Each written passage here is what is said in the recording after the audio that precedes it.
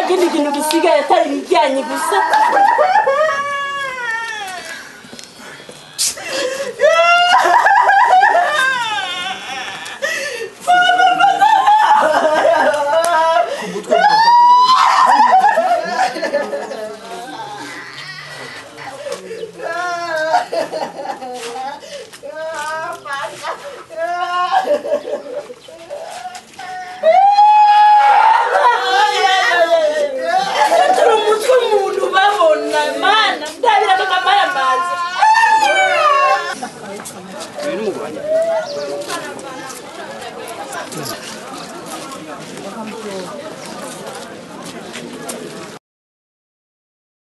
En fait, ça a commencé depuis euh, le matin, vers 8 heures, où j'ai entendu des coups de feu. Euh, moi, j'étais encore au lit.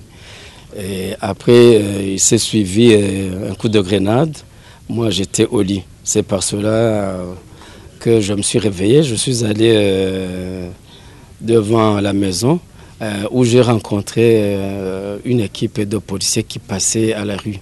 Ils m'ont interpellé. Ils ont dit Tu viens, tu viens, tu viens. Même celui qui est dans ta maison, qu'il vienne. Alors je dis Ok, nous sommes à trois. Il y a moi et mes deux fils. Bon, le, deuxième fils, il était, il était encore au lit, mais le premier, il était à l'extérieur. On nous a pris jusqu'à la rue. Et arrivé là-bas, ils nous ont dit Allez, c'est vous qui, qui habitez les, manifestants, les, assaillants. J'ai dit non, c'est pas moi, c'est pas moi, je ne suis pas avec ce groupe-là. Ils ont pris mon enfant, ils l'ont poussé par devant, voulant l'emporter. Je dis non, c'est mon enfant, il ne faut pas que vous, vous l'amenez avec vous. Euh, il est en train de préparer de la nourriture. après, euh, ils ont continué.